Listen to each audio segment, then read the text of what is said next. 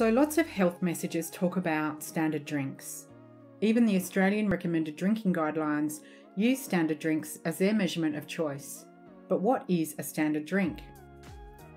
In Australia, a standard drink is 10 grams of alcohol, and the number of standard drinks inside a beverage varies by the type of alcohol.